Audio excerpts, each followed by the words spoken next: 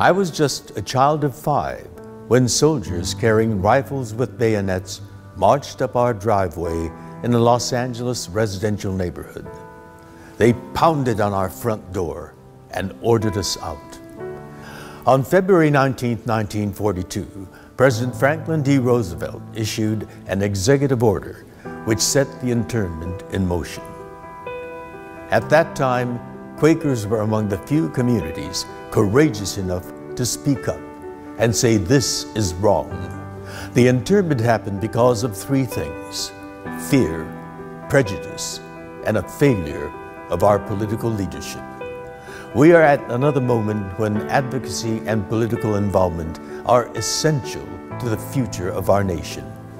Our democratic system only works when we actively participate in the process. All of us. You can help by getting involved. One way is to work with the Quakers, the people of faith who helped us during the Second World War, are still advocating for justice.